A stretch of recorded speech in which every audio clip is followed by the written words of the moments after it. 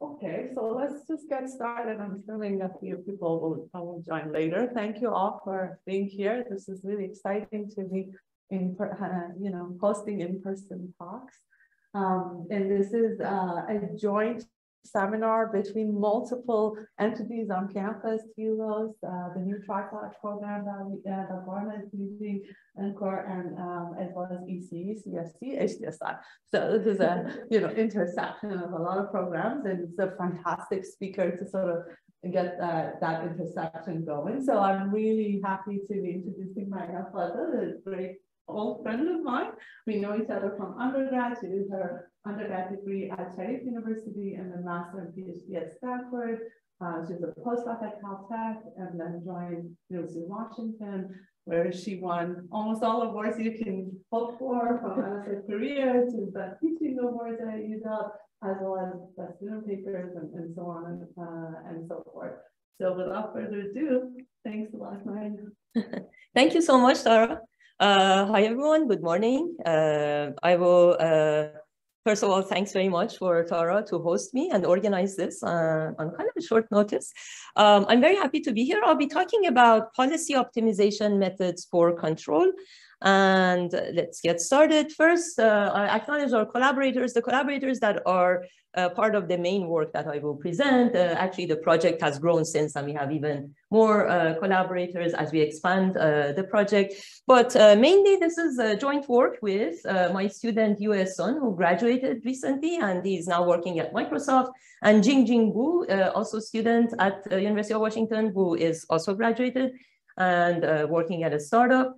Uh, also collaborators, Ron Ge from Duke University, Sham Kakade, who used to be at UW, but is currently at Harvard, and Mehran Mesbahi, also at the UW uh, in the aeronautics department. And so sort of the group of collaborators uh, shows the intersection uh, of the different fields because Ron is in the CS department, uh, and Sham is an expert in, uh, in RL and is in CS and stats. And Mehran is a control theorist in the aeronautics department. Um, and I do those and optimization. So it's like intersection of different uh, expertise. Um, uh, what's the motivation? So our motivation actually starts from the recent success of reinforcement learning in practice. Basically, specifically algorithms called policy optimization. Uh, these are uh, very popular in current uh, reinforcement learning and specifically deep reinforcement learning, which is when you do reinforcement learning and you put neural nets, you parameterize, for example, your policies with neural nets. In practice, they have had a huge impact. Um, at least demonstrated uh, astonishing success in multiple fields. For example, in uh, robotic manipulation, and also the ones that got a lot of attention in the news recently, in recent years, are in game playing, uh, starting with uh, the DeepMind, Google DeepMind work on the, the Atari game player. Uh, that's shown in, uh, in the middle. That was quite successful and beat human players at Atari. And that was in 2013. And then this continued and more recently in 2016, the, probably the one that is most famous is the Google DeepMind AlphaGo player uh, that uh, is uh, pretty impressive in its performance. So in all these areas, uh, and here's a little bit more about it. Um, the uh, AlphaGo uh, player, for example, what's exciting about it, what's interesting is that the game of Go is very complicated. The number of board positions you can have in that game is bigger than number of atoms in the universe. It's a very complicated game, and yet this uh, methods uh, based on reinforcement learning using policy optimization plus some other heuristics like a really clever tree search. We're able to beat the best human player. The champion of the uh, of the Go game was uh, played five times, if I remember correctly, with AlphaGo uh, uh, player and was and actually the the uh, computer won four times out of five. Um, so uh, pretty impressive. And another area is in robotics. The OpenAI, for example, has these very cool demonstrations of a robotic hand. You can see the cool videos on their website um, where they can uh, make the Rubik cube or solve the Rubik cube, and also with similar types of approaches. So these uh, underlying algorithm in these uh, uh, problems is policy optimization. We can say direct policy optimization in the sense that you parameterize the policy space directly and then do some kind of search or updates in that space. Uh, the reason these methods are popular, one can think of, is that they're very simple to use, often just based on one loss function and its gradient, and you just do iterative gradient descent type of algorithm. Or even uh, simpler, you just uh, update in a zeroth order fashion based on just the loss values, even without gradients. Uh, so they allow rich policy parameterization, meaning uh, you can parameterize your policy, for example, with a deep neural net and still do gradient descent on the weights of the neural net to learn a good policy. And uh, they also are attractive because they act based on the uh, true systems loss. You can define the loss function that you want to optimize and just use the gradient information of that to, to proceed. So there are some features, but uh, probably the most important is its simplicity. There are some features that make these methods popular in practice. However, and this is of interest to those of us who want to do theory work, both in control and in RL theory and in machine learning, that these methods often lack uh, full guarantees in terms of, for example, optimality. Does the policy you find, is it optimal in any sense? Uh, does the iterative algorithm converge? Uh, what are the convergence properties? What are the statistical properties? For example, sample complexity, how many samples you need? And all these questions are not fully understood, even for simplest problems, simplest benchmark problems. And in the case of this talk, we are going to look at control theory benchmarks as our benchmark problems, because uh, even then work on this problem is, is uh, pretty recent. So we're going to look at control of linear dynamical systems, which is uh, as a benchmark, which is simplest control problem in some sense. Talking about control theory, let's uh, also uh, show a little bit what's the general paradigm in, in control and uh, how uh, control theorists think about policy optimization for control. So in control theory, you would like to design feedback policies, often in a continuous space. So that's actually a bit different from a lot of RL setups that your space is always continuous.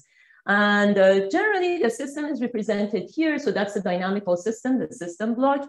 And here xt is the state of the system. It can be a vector of dimension n, and it can be possibly hidden or partially hidden. And you get observations from the system that are these yt, these are the measurements. The measurement of the state of the system goes into a, a block called this feedback controller. And the feedback controller is actually the same as policy, uh, plays the same role as policy in RL, and it gives you a control input that goes back into the system. So there's a closed loop control. Um, and uh, the goal is often to design this uh, feedback controller in order to achieve uh, different uh, objectives. So you observe YT and you want to design the feedback controller block to, to get UT based on YT. And that's exactly the, you can think of it as the uh, action based on uh, state observation. Uh, and the goals are typically, for example, in, in control, they are that you want to, let's say, stabilize the system. If the system is unstable, you want to design a, a controller that would result in a closed loop stable system. Another goal can be, for example, tracking. Uh, you want to track a desired trajectory that can be in, for example, in navigation applications. Or it could be you want to optimize the performance of the overall closed loop system in, for example, the sense of minimizing effect of disturbance on a desired output. So for example, you can have this DT which is a disturbance, and you want to measure this particular signal WT, and you want to have uh, DT's influence on WT to be bounded or small. And there are different models. For example, DT can be stochastic, and then you want the expected behavior uh, to have a guarantee, or it can be a worst case over a possible set of disturbances, and then you get H infinity control or robust control uh, where you still want to minimize the norm of gain from dt to wt in the system. And so this framework has, of course, been historically vastly successful in many, many fields. Uh, uh, aircraft control, all of aerospace, for example, industrial and mechanical control, network systems, power, energy, and uh, it's a it's a the the prime paradigm in control theory. Um, okay, so our goal in this talk is to try and understand policy optimization for control, meaning we want to start with a benchmark problem coming from control theory. Uh, and this idea of let's try to use uh, uh, standard control problems as benchmark has been popular recently. So for example, work of my colleague and friend Ben Recht also has revisited the standard control problems from a more machine learning and statistics point of view as benchmark and try to characterize, for example, sample complexity uh, in that setting. So we are also trying to use uh, control problems as benchmark. And uh, that's the benchmark. Then we also want to look at simple algorithms, Pro uh, probably the simplest we can get. So for example, we will be looking at policy gradient descent. We'll define it soon, uh, what we mean.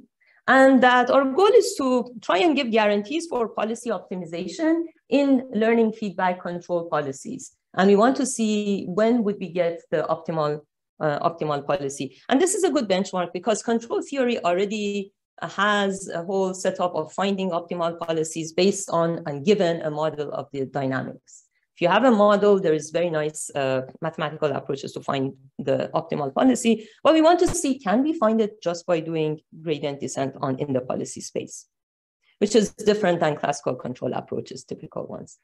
So the big picture is we're trying to, in some way, bridge control theory and reinforcement learning and employ basically a modern optimization perspective uh, we look at iterative algorithms, for example, first order algorithms that are based on gradients or zeroth order uh, algorithms that are based on only function evaluations. Uh, and we are going to try to understand and connect sort of model-free and model-based views. Uh, I put these in quotes because they're not really that well-defined terms, but uh, typically in RL world, people try not to model their systems, it seems, and they really are interested in um, approaches that don't require having a lot of modeling going on. And in control theory, often uh, standard is very much model-based. You first try to model your system. And in reality, the thing is, this is not a dichotomy. In reality, most uh, problems are somewhere in between. You know something about the model and you don't fully know it. So it would be interesting to uh, try to uh, also connect these viewpoints. Okay, so what is a gradient descent on policy or policy gradient descent? Uh, so consider an optimization problem like this. So here K is uh, capturing our policy, some parameterization of policy. L is a loss function or cost function as a function of that policy. And this uh, curly K is the set of constraints on the policy. So just very high level way of writing, I want to minimize some costs over the policy space. And uh, algorithm, so policy gradient descent algorithm means that we iterate on the policy K. Uh, note that K maps observations to action or input space. So it's control in control block in the control setting and policy in the RL setting. So we iterate on that and we use a first order oracle like a gradient of the cost and make an update. So these algorithms look simply, this is the simplest case, the new K, the new policy is the old policy, and you just move in the negative direction, uh, in the direction of the negative gradient with a fixed step size eta. So very, very simple. And uh, one question is, okay, why is it interesting to look at this very simplistic algorithm in this setting? Uh, well, so these algorithms are used a lot. They're easy to use and they allow for many variations. Um, and they also, we can benefit from well-developed first order optimization theory uh, of gradient descent, well understood in optimization. And we can then connect it to the case where you do not have access to the gradient and using derivative-free or zeroth order optimization frameworks. Uh, and that gets us pretty close to model-free RL, that you do not have a gradient oracle, but only can evaluate the loss at different points. Um, so what are key questions we want to see when does gradient descent on K converge to the globally optimal K star that gives us the minimum loss, globally optimal solution of that optimization problem. And if it does converge to the correct thing, what is the rate of convergence? Uh, and if gradients are not available, can we just use samples of L of K? Uh, and these questions would be very easy if the problem was convex in K. So L was a convex function and the set K was convex. But it's challenging because in general, it's not. And so when it's not convex, in general, can be hard. So why is that? Well, gradient descent is just a, a picture to uh, illustrate. Gradient descent on a convex loss, let's say convex and smooth differentiable cost, is easy because from any initial point, you converge to the global minimum or the set of global minima. And uh, it's uh, uh, there's no ambiguity. Um, but if your loss landscape is actually like this, it's non-convex, it's very easy to see. You have local minima, depending on which initial condition you start from, you go somewhere else. And in general, this is a huge mess. You cannot say anything. Um, so before we set up the uh, particular first uh, control problem that you're going to look at, Um, this is like one slide kind of sampling of different kinds of literature in this broader field of intersection of learning and control. It's a very big intersection, by the way, and can find all kinds of papers with different focuses, but this is just a, a few samples. So I would say everything goes back to Bellman. Um, both uh, control theory and RL are based on really Bellman's theory. So they started from the basically a shared root, but they have kind of diverged in terms of the research um, so they start, we start from Bellman. There's actually really early and strong work of and Tsitsiklis, or they have a whole book on neurodynamic programming uh, that looks at approximate dynamic programming. Um, and that actually already allows learning and control. So that's early version of learning and control setup. There's also a lot of other works in adaptive dynamic programming and applied also to RL. Um, there is papers where um, ad adaptive LQR was considered and the, the framework was to minimize regret. Um, and there's also work on identifying uh, an unknown dynamics given measurements. Um, there is work on the one on uh, by Sarah Dean and others at Berkeley is about instead of trying to use model free type of methods, let's first identify our dynamics and then do control. So they combine a robust, a core system ID and robust control. That's also another option. Uh, it does not need to very simple algorithms, but uh, it does have guarantees in terms of computation and statistics. Uh, what else there are? There is also you know, other, other problems, uh, other types of RL approaches like temporal difference learning has been applied to LQR. Um, uh, also, another line of work actually looks at online control and puts it in online learning framework by Elad Hazan and his group. Um, so a, a, large set of different lines of work. I would highlight actually two things that are more related to my talk. One is that this one, which is only about system identification, Moritz Hardt, Benrecht, and Peng Ma, uh, they only do, they do system identification of, I think, single input, single output dynamical system, linear dynamical system using gradient descent. And so in that sense, it's similar to our approach because they're just applying gradient descent on a non-convex problem, but they work out conditions that actually renders the problem quasi-convex, and that allows showing guarantees for gradient descent. Uh, also, this last one is uh, from the control community by uh, Martensson and Rantzer. Um, it actually uses gradient descent in a control problem, uh, it's empirically working really well. So they decided to just do gradient descent on, on policy. And the reason they were doing this was that they, were, they weren't just looking at simple LQR, but they wanted to do structured controls. So they had constraints on the, uh, on the policy that made the problem non-convex. So they just uh, went down the route of let's do gradient descent. And empirically it works really well, but they had no theory for it. So, uh, so we can think of our work trying to kind of give theory for such successful applications of uh, simple gradient descent. Um, right. Okay, so in this talk, I will first talk about the linear quadratic regulator problem, a concrete problem that's standard in uh, control theory. The loss as a function of policy is non-convex, but we can show that the gradient descent actually converges to the globally optimal policy. And this kind of result may be unexpected because it's non-convex. However, this problem has a lot of structure. In particular, it relies on, the result relies on these properties. First, coercivity of the loss as a function of K. And next, and very importantly, an inequality called Polyak uh, Lojasiewicz uh, condition or inequality holds, also known as gradient dominance.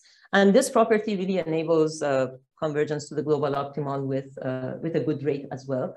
It's a very strong property. It doesn't hold too often, but it holds in, in this case. Uh, also that the sublevel sets are compact and there is appropriate smoothness over sublevel sets. So using these properties, we will show that things work out for the LQR problem. And then we will mention that this kind of uh, study has recently been extended to many other control problems. For example, to robust control, H2, H infinity, uh, state feedback control, to linear quadratic games, to Markov jump systems and output estimation problem. Uh, interesting set of problems that are actually getting like more and more sophisticated.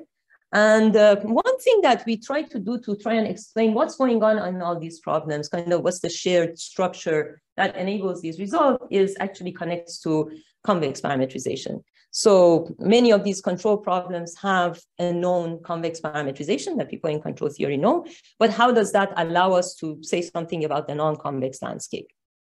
So we'll get to that also. All right, so uh, let me go a little bit faster. So the LQR problem or linear quadratic regulator is basically a workhorse of control theory. And it has a long history. It started basically with Kalman in the 60s. This is really Kalman receiving the Medal of uh, Science from President Obama. Um, so he is one of the fathers uh, of, of this field. Uh, and he set up this, one of the first people who set up this problem as well and, and give a solution. So the dynamical system here is the X is the state, A and B are the matrices that define uh, the evolution of the state, xt is the state at time t, ut is the input at time t, and we start from some initial condition x0. And one setup, one way to set up the problem is that I want to design the u based on x in order to minimize some kind of cost of the system. The cost can be this, cost as a function of input, uh, is typically a quadratic function of the state. So X transpose QX is quadratic in the state XT, uh, plus U transpose RU, which is quadratic cost on the input. And this is important because you don't want the input required to be very large. This would make the input be uh, smaller. And this is integrated for a continuous time system. By the way, this is continuous time LQR, but we'll talk about the discrete time system also. Uh, so integrated zero to infinity over all times. And this expectation over x0 is that we chose to have the initial state of the system be chosen randomly from a simple distribution, let's say here Gaussian with zero mean and covariance matrix omega. It doesn't need to be Gaussian, it's any distribution with an uh, um, zero mean makes it easier, and then with a given covariance matrix, that's fine. So in this setup, you're interested to minimize the expected cost over all random initial conditions. This is one way to set up LQR. Uh, we assume that A and B are controllable and Q and R matrices that define the cost are positive definite. Uh, and so the goal is that we want to steer the state to zero because this cost is trying to push the X to zero uh, while keeping the input energy small. So that's the goal. And this problem has a well-known solution, again, going back to Kalman and others uh, that a stabilizing policy that minimizes the LQR cost is given by a static state feedback controller. So it can be proven that the optimal among all u's will be a u that is actually a matrix times x. And this matrix K star is the optimal policy, is the thing that we have to design. And it actually has this exact closed form uh, in terms of the matrices that defined in the system, B and R, plus a matrix P where the matrix P solves this uh, equation called the Riccati equation. Uh, this is an algebraic equation that can be solved in P. It's uh, uh, and, and there are nice linear algebra methods to solve it in P once you know the A and B uh, exactly. And then once you solve for P, you plug the P here and you get the optimal solution, optimal control. So what does gradient descent do for this LQR problem? Uh, so the landscape of LQR can actually look like this. So this is a picture of a cartoon picture of the sub-level sets of the loss function as a function of policy. Definitely not convex. L as a function of K is not convex. Well, we want to see if there is enough structure still to allow us to converge to the optimal policy, let's say here shown by the star. So the question is, when does gradient descent on loss actually converge to optimal policy? So in a paper we had in 2018, for discrete time LQR problem, I'm switching to discrete time, but um, it also holds for continuous time. For discrete time problem, we looked at how does L depend on K, first of all, you can explicitly write it down. It's a messy function and it's not convex. Uh, we also checked that it was not quasi-convex or star convex either. These are other nice uh, convex-like properties. Uh, and interestingly, that happens when the dimension of the system is bigger than or equal to three. For dimension one and two, actually, it is convex. Um, so, so it's not convex or does not have any other nice convexity type structure. And you can actually prove this by showing a counterexample. In fact, it's easy, probably also known in control, that you can take two controllers, K1 and K2, that are both stabilizing, meaning they give a cost less than infinity but you connect them and the midpoint of these two controllers can actually be make the system unstable. So uh, yeah, so the linear convex combination of two stabilizing Ks may not stabilize and it's easy to create such counterexamples. But what nice properties this function has as a function of K, one is that it is coercive, which means Lk goes to infinity as k approaches the boundary of the set curly k, the set of all stabilizing controllers, and that the sublevel sets of the function are compact and the function is smooth over the sublevel sets.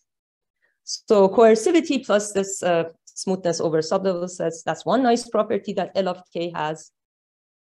Um, but also this important property PL that I mentioned earlier, uh, Polyak-Lojasiewicz, says the following, LK satisfies uh, the following inequality for all K in the feasible set, that the norm of the gradient, um, and this should be L2 norm, basically norm of the gradient in L2 norm is bigger than a constant times the suboptimality gap, LK minus LK star, where K star is the globally optimal policy, uh, to some power alpha. And the various versions of this inequality have different alphas. For example, if one can show this inequality with alpha equals one half, then you get linear convergence rate. Uh, so this property, if it holds for your LK, gradient descent will converge with nice properties. And it's actually not hard to see from this property that would follow because if you're making the norm of the gradient small, as this goes to zero, it pushes your LK to go to LK star. So it directly pushes you towards uh, optimal. So if you have this property, things are good, but this is a very hard property to come by holding for all k. Usually in optimization literature, this is used locally around a particular local minimum, for example, to give rates of convergence. But in this problem, it holds globally. So um, that allows us to show that global uh, policy gradient descent converges to, to K star.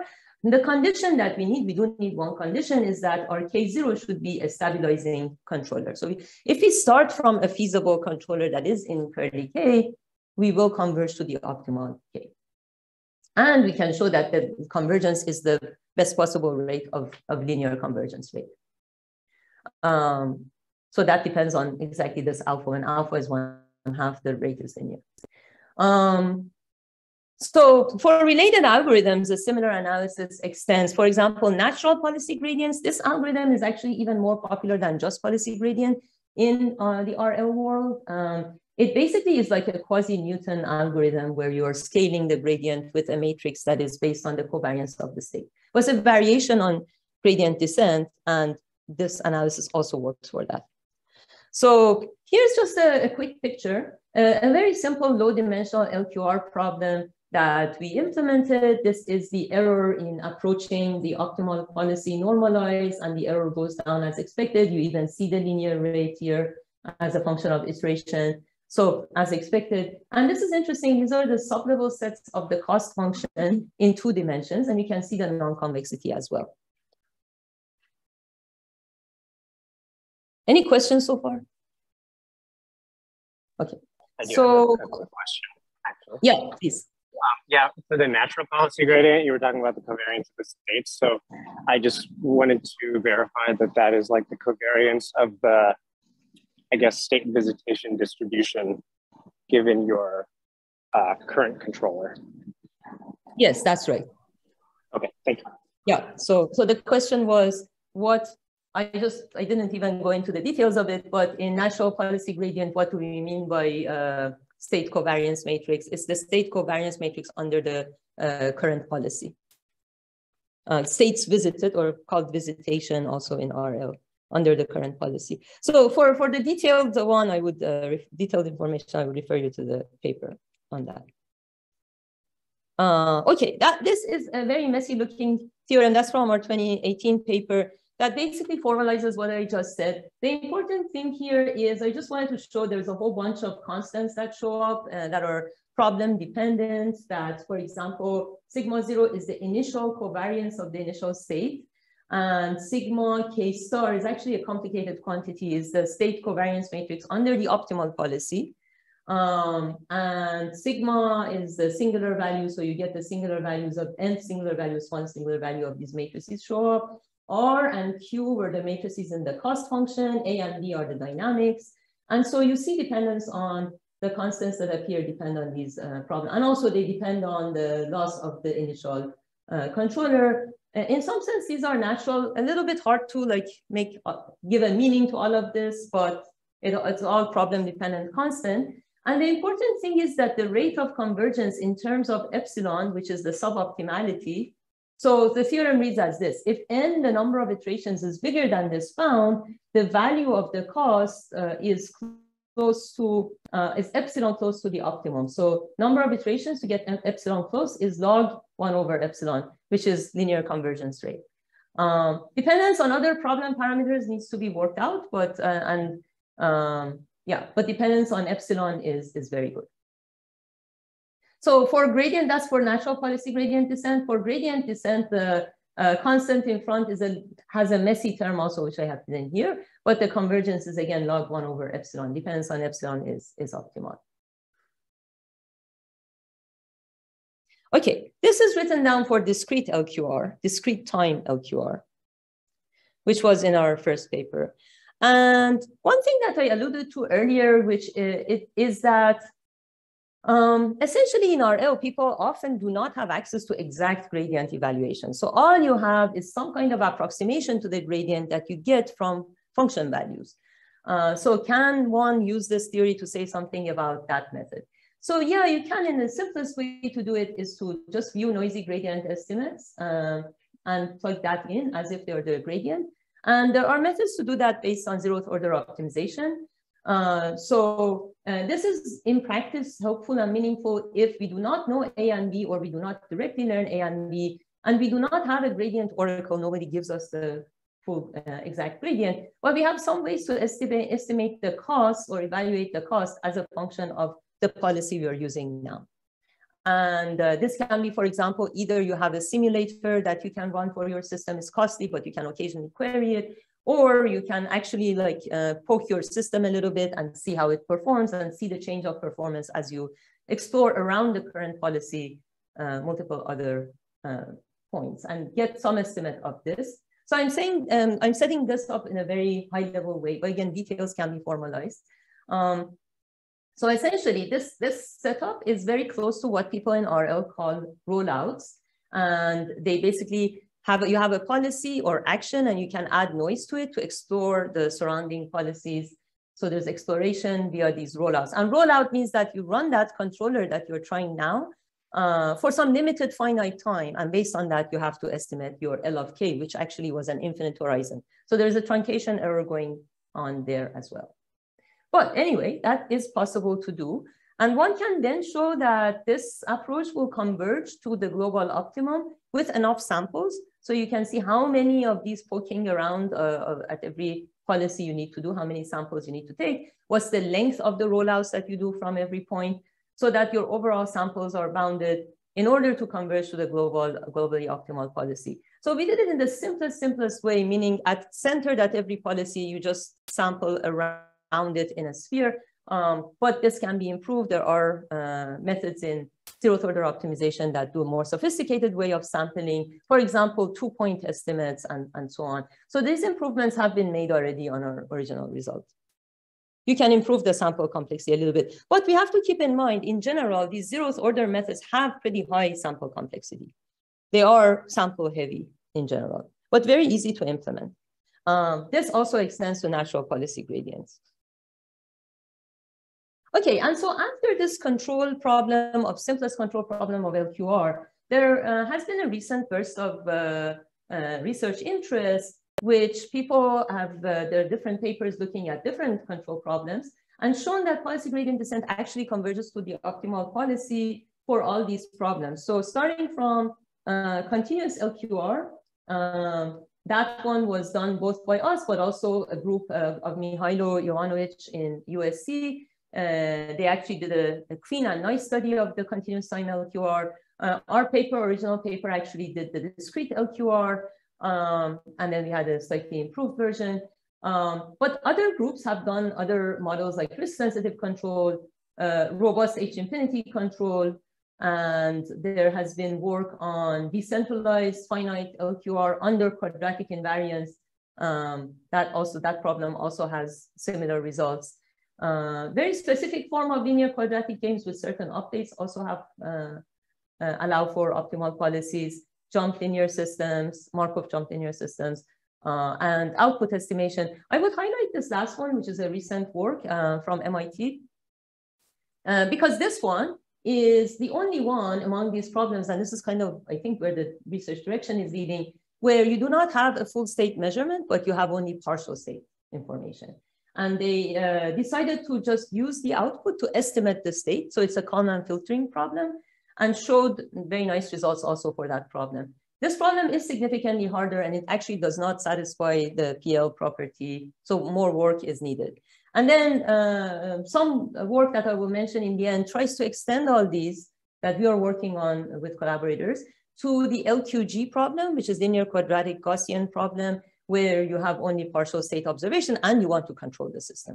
So control based on partial observations. That's like in progress. That's harder, again, does not have a lot, all of this nice properties, so needs more work. However, one question that arises is, what's in common between all these problems, at least all the top ones before the last one, that made this work? Why does gradient descent converge to optimal policy? So, so far, these papers often gave handcrafted proofs for each problem. Um, and one by one address like things like, for example, sometimes in some of these problems, including, for example, the H infinity problem, the loss function is no longer smooth or differentiable. So you need to extend it to non-smooth optimization um, and use subgradients, for example.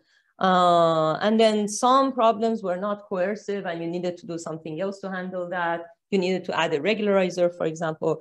So, but in general, there is something shared between their, these proofs, which is they all rely on this PL type inequality in some way, or we can write the proofs or rewrite these proofs to uh, show the connection through this PL property. So can, can we explain why PL holds in all these problems? That would be a, a nice question, kind of unify all these uh, different uh, approaches. So any questions, by the way? Feel free to interrupt at any time and on Zoom as well, if there are any questions. Okay, so this brings us to the role of convex parametrization. So as a warm-up, let's go back and look at the LQR problem for continuous time. The reason to look at continuous time is that its form is a little bit simpler. Um, the continuous time LQR problem, which we set up at the beginning, actually has an equivalent form of this optimization problem. So instead of minimize over k, the loss as a function of k, you can write it as this, minimize a linear function uh, of variables p and z, and then subject to these linear, ma linear matrix equality and linear matrix inequality constraints on the p and z. p, l, and z are the optimization variables. So this is a much bigger problem, but uh, in, in terms of size and has additional variables, but it's a convex problem. It's convex in all of its variables.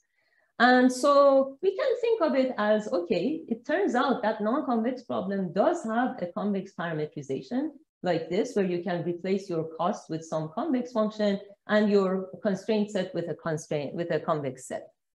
So it does allow this that the solution of this problem actually solves the original LQR problem. How is the solution obtained? After you solve this optimization problem, you can set your K star be L star P star inverse. That's, that gives you the optimal K star. So we need to ensure that P uh, is invertible. And uh, that does follow, for example, if your sigma matrix here is full rank, which is not a bad assumption. Um, sigma here, by the way, is the covariance of the initial state in our, in our setup. So we can always choose it to be full rank, so not a problem. Uh, okay, and the important thing is not only the optimal policy is parameterized this way, but all policies that are feasible for the first problem, uh, for the non-convex problem, actually correspond to L and P's that are feasible for the convex problem. So this is really a mapping between the two convex and non-convex uh, spaces. So this mapping, LP inverse, is parameterizing all stabilizing controllers K, and this is a, a rich classical result in, in LQR. Um, so for LQR problem, this actually allows a very easy connection between the non-convex problem and some other uh, convex problem via really a change of variables. This can be seen as a change of variables with this invertible matrix P. Um, so there's also the, the paper of uh, Mihailo Jovanovic group that looked at continuous uh, time LQR and looked at this particular approach. So um, can we generalize this idea from LQR? How, how general is it? So yeah, to some extent we can generalize it. We can Uh, let's look at, this is the non-convex problem in K. Suppose there exists a convex problem on the, on the right-hand side. Suppose that the set S is convex, F is convex, um, F is bounded and differentiable on S, and that first we make this strong assumption, this one held for LQR, for example, that there is a bijection between K and L comma P. So every K here in this set is parameterized by some variables. L and P are the important ones and Z is some auxiliary variable. So either you assume there exists such a bijection or an alternate assumption, which is more general, says that perhaps there is no bijection per se, but you can still show that the value of the cost of the non-convex problem equals the minimum of the convex problem if I add this additional constraint, k equals LP inverse. So here k is fixed, k is fixed, I plug it in. And I say this new optimization problem with this added condition with variables LP and Z gives me the same value of L of K. If that's the case, and it turns out this holds for many control problems, um, then, then nice things will, will follow. So right now we're just writing the assumptions. By the way, this third assumption can even be more generalized. Essentially, you don't have to have this very particular map LP inverse. It can be uh, replaced by a more general map phi as long as it has nicely behaved first order derivatives. Um, so there is some work in this generalization in a CDC paper we have in uh, with UF. And there's also related work in uh, the MIT paper I was mentioning, Umenberger et al., uh, that um, they has a this paper was focused only on output estimation, as I was saying, but it has a section in the paper that also tries to set up what's a general framework for going between convex and non-convex landscapes. And it's still messy a little bit. So both ours and, and the MIT one, I think there's room to like kind of try and clean it up a little bit more. But okay, so what's the result we can give under those assumptions, in particular under either assumption one and two, uh, or more the more general one, assumption one and three. So one was just convexity of the right-hand side problem. Three was the one that said there's this connection that L of K is the, can be evaluated by solving the other problem with an added constraint. And under those assumptions, we have that any stationary point of the loss is optimal. So global solution easily can be found. Your gradient becomes zero, you are at the global optimum. So, so that's pretty strong. Uh, and you can also kind of quantify this. This is just showing that the, the K star is optimal, but you can quantify it by writing the PL condition explicitly. Norm of gradient is bigger with some constant. This still is hiding some constants here, uh, bigger than the suboptimality. And that if your F in this convex formulation had um, was mu strongly convex, you get an even better rate.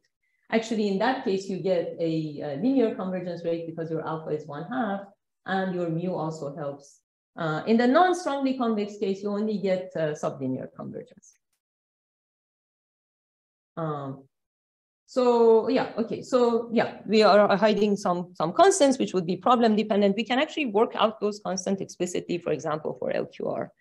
Um, I'm, going to skip this one. This is a slightly more general version. You can think of this result that I just showed in terms of directional derivatives. And if you do that, it also extends to non-differentiable cost. Here we just wrote gradients, but there's a way to think about it that you don't need gradients and you can work with subgradients.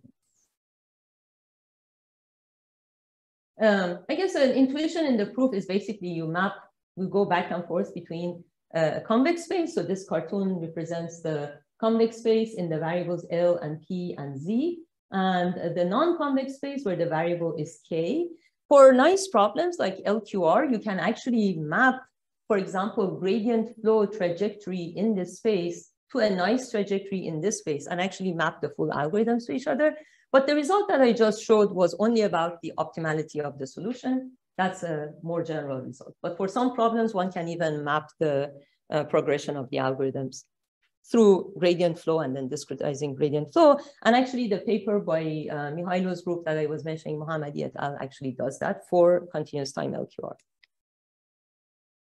Um, so one example of things that satisfy these conditions is continuous time LQR, which we just saw.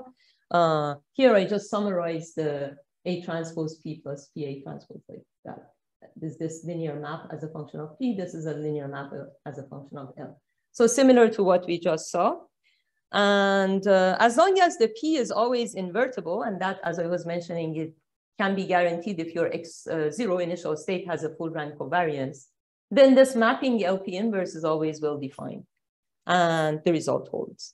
And one can even quantify it by looking at, for example, for an A sublevel set of the cost function, you can explicitly write down the cost as a function of the LP and Z as written here. And you can even, uh, without going into details, just to tell you, we can find problem dependent constants, all the constants needed. Uh, one can work out exactly um, this constant in the PL condition uh, which is MS, but it depends on the sublevel set uh, the, the value of the loss at K0 uh, and Q and R, which were the problem parameters, and this nu, which is this thing, which depends on the A and D matrices as well. Okay, so one can work out with a bunch of work the, what the constants are, and therefore get the actual explicit rate. So similar story for discrete time LQR. The geometry of discrete time LQR is a bit different. So it's not exactly the same proof. You have to redo things, but the result actually does hold.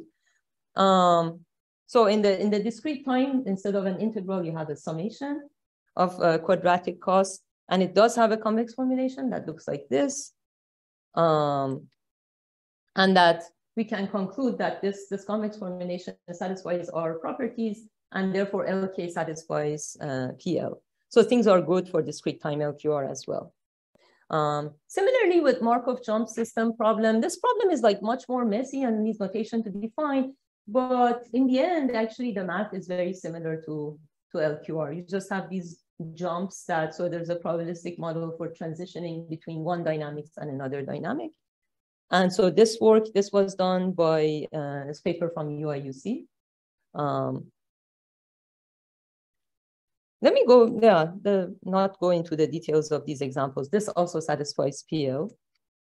Um, we see that how when there is a convex parametrization, and not only that there is a convex parametrization, but the mapping between this convex parametrization and the original space is a nice mapping, satisfies some condition, then sort of the PL just pops out. PL condition pops out from which convergence of gradient descent also pops out. So it's kind of a nice unifying view, I think. Um, but it also has limitations, which I'll uh, talk about. So, so far, um, what we showed is for a family of control design problems, policy gradient descent converges to the globally uh, optimal policy despite non-convexity. And this convergence also comes with a rate that can be written down in terms of problem parameters. And that uh, there are a bunch of different harder problems for which this holds. Uh, for example, the H infinity problem is a non-smooth problem, but uh, H infinity with state feedback is easier. Output feedback is tricky. Um, yeah, but H infinity with state feedback is non-smooth, but everything works for it as well. Um, so a general proof method that can connect the non-convex and non-convex landscape of the original problem with a convex problem um, is essentially using this PL property and the property of the mapping between this space of parameters. So it's a step towards trying to unify what's in common between these problems. Why does this work? And uh, this view with uh, going through PL and making this connection uh, uh, extends to related methods like natural policy gradient uh, and helps design and analyze derivative-free versions of these methods. So what I was just saying in the last part was these are all based on gradient, but you can then go to the zeroth order versions as well. Now, challenges and future work. One big one, which I think is actually a, a, good research direction, is partial state observation. Like the problem LQG linear quadratic Gaussian is a classical problem also in control. But here you only observe, if you go back, if you go back actually to that block diagram we had earlier, you're only observing a function of the state. Okay, maybe that was too early, I won't go. um, you observe the YT signal, which depends on the state, but it's not exactly all of state. And that's actually very realistic. In a lot of systems, you're not, you're not able to observe your full state. So what happens in that case is if you're observing YT and you want to control your system based on YT, things are significantly harder because your optimal policy is no longer a static policy parameterized by a single matrix K star that we had before, but you have dynamic optimal controller. So your optimal controller itself is a dynamical system that you have to design, um, but it can be written down. You can parameterize the controller itself with its own ABCD matrices and then optimize over those ABCD to find the dynamic controller. And so we have ongoing work with uh, actually Yang, who is here, uh, not, not right now, but he's at UCSD, uh, and uh, collaborator uh, Na Li at Harvard, uh, where we're looking at this LQG problem. And we have some preliminary results. So we have some preliminary progress on, um, well, so the MIT group made progress on the output estimation problem. That was the Umenberger et al. paper I mentioned. Um, that is, if you are not controlling the system, just estimating the state. And they have positive results on that. Uh, and we are working on the uh, controlling using the uh, output feedback problem. So what's hard about this problem is that, first of all, PL no longer holds. This problem actually does have saddle points. Uh, it does not have local minima though, only saddle points. So if you can somehow deal with those saddle points, you're still good. And it does seem like if you do it right, uh, things should be good. So there was negative results shown by uh, Yang and Na Li actually earlier about how the landscape uh, does have multiple saddle points and it's not as nice as LQR, uh, but it, these saddles seem to be avoidable. So as you may know, also this uh, came up in other literature where if you have a strict saddle point and you want to get out of it, is actually not that hard. You just need to add a little bit of noise and perturb the iterate to escape from a saddle. So they all did a lot of work about escaping from strict saddle points. It's because it's like an unstable point and it's easy to escape from. So we can leverage that. Some saddle points are not a problem for gradient descent-based algorithm. Uh, so that's that's ongoing research. Uh, and then, yeah, exactly, more complicated control problems that could have saddle point would be interesting. And we have to deviate from this PL property a bit for that, but it seems possible. Um, and the other direction is that actual better convergence rate on specific problems, like making more specific use of problem structure for each case. This was done, for example, for continuous time LQR, as I was showing very well, but for some other problems, it's still not very clear. You don't get a nice rate. Uh, and the other thing is these constants that show up in the bound, so they have nice control theoretic interpretation as much as possible. That would be also nice to try to give. And so here are some references. I would just point out that actually there is a, this is the work with Yang. By the way, Yang told me he gave a talk in this seminar last week about his uh, uh, work on LQG, both the earlier negative results and, and some new results. So uh, hopefully some of you saw his work. And that we also have a working on a survey paper together with Bin Hu, Kaiqing Zhang, uh, Na Li, uh, Tamer Basar, and Mehran Mesbahi that will appear in annual reviews that tries to kind of put together these problems in a, in a survey. So with that, I'll, I'll end here and happy to answer any questions.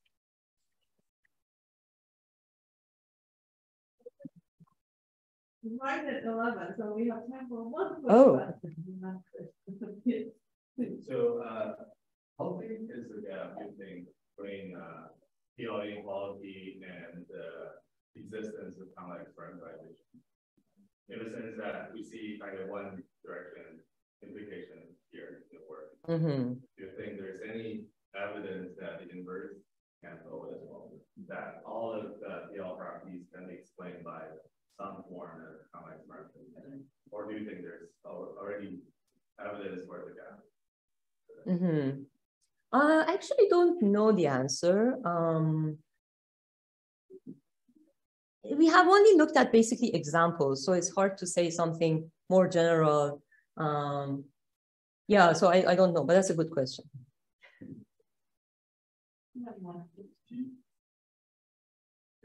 Yeah.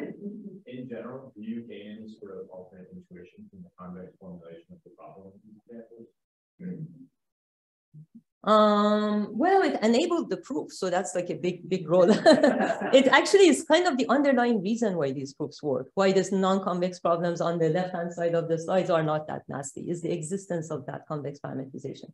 The existence itself isn't enough. You have to have nice properties between the mapping between the two spaces as well. But yeah, convex parameterization is playing a very big role there. Um, but other than that, in terms of the form of the LMI, I don't know if it gives us anything else. Thank you. Thank you very much.